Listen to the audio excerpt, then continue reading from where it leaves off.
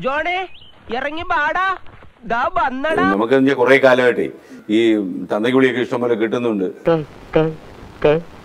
എന്ത് പറ്റി? കഷ്ടം. നമുക്കത് വേറെ എന്തൊക്കെയോ വിളിക്കുന്ന പോലെ തോന്നുന്നു. പിന്നെ പ്രത്യേകിച്ച് ഭാഷ വേണമെന്നില്ലല്ലോ. സത്യത്തിൽ മനുഷ്യനെ ഓണം ആഘോഷിക്കാൻ വിടണമെങ്കിൽ ആ. മാധ്യമ പ്രവർത്തകർ ഓണം ആഘോഷിക്കണം ആദ്യം.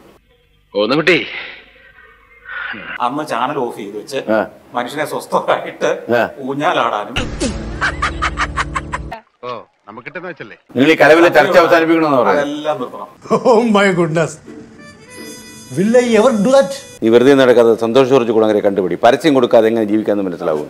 എന്തൊരു അവസ്ഥയാണ് നിങ്ങൾ ഉണ്ടാക്കിയെന്നറിയില്ല. ഇവിടെയുള്ള മലയാളികൾ തന്നെ ജീവിക്കാൻ വേണ്ടി കഷ്ടപ്പെടുക. നിനക്ക് നാട്ടിൽ നിന്നാ പോരെ. അനാവശ്യമായിട്ടുള്ള കോംപ്ലക്സ് വേണ്ട അവനവന്റെ ഡിഗ്നിറ്റി ഞങ്ങളുടെ ചാനലിൽ ഒരു മെഷീൻ ഉണ്ട്. അതിലിപ്പോ പണം ഉണ്ടാക്കുന്നതാണ്? അതല്ല പണം ഉണ്ടാക്കാൻ വേറെ മെഷീൻ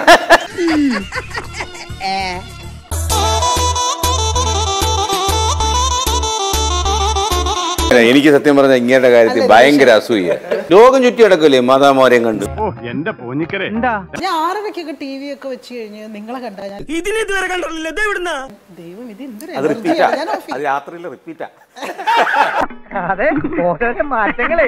ഞാൻ ആലോചിച്ചെന്നറിയാം മലയാളത്തിലെ ഈ ടി വി ചാനലുകൾ നിന്ന് പോകണമെന്നുണ്ടെങ്കിൽ ഈ സന്തോഷ് കുറച്ച് കുളങ്ങരെ ബലമായി പിടിച്ച് വേറെ മുറിലിട്ട് പൂട്ടിയിട്ട് ഇദ്ദേഹത്തിന്റെ സഞ്ചാര ചാനൽ കുറെ പരച്ചുണ്ടെങ്കിൽ നന്നാവാൻ സമ്മതിക്കൂലെന്നേ.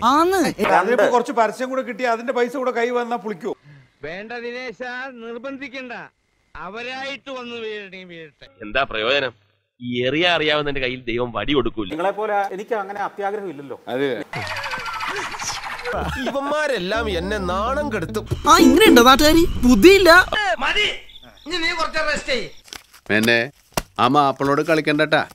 അയാളൊരു ഈട് മൂടില്ലാത്തവനാ കണ്ടോടാ. കണ്ടു. എന്നിട്ട് എന്താണ് ആ പട്ടി അടിക്കാത്തത്?